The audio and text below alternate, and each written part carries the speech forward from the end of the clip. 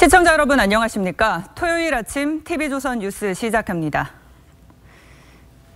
정경도 국방장관이 태국 방콕에서 열리는 아세안 확대 국방장관 회의에 참석하기 위해 오늘 출국합니다. 지소미아 재연장이 한미일 간의 쟁점이 될 것으로 보이는데 미국과 일본 측의 거센 압박이 예상됩니다. 신준명 기자입니다. 정경두 장관이 오늘 오후 5시쯤 태국 방콕으로 출국합니다. 내일부터 이틀간 방콕에서 열리는 제6차 아세안 확대 국방장관 회의에 참석하기 위해서입니다. 최종 조율 중인 한미일 3자 국방장관 회담에서는 지소미아 종료 문제를 놓고 미국과 일본의 재연장 압박이 예상됩니다.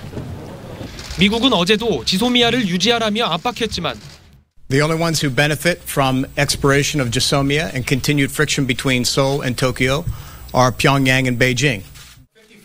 정 장관은 일본의 수출 규제 조치 해결이 먼저라고 선을 그었습니다. 에, 일본이 에, 안보 상의 문제로 신뢰할 수 없다라고 하면서 어, 수출 규제 그리고 화이트리스트 배제 조치를 했기 때문에 문재인 대통령도 안보상 이유로 수출을 규제한 일본과 군사 정보를 공유하기 어렵다는 기존 입장을 유지하면서 일본이 입장을 바꿀 수 있도록 미국 정부도 역할을 해달라고 한 것으로 전해졌습니다.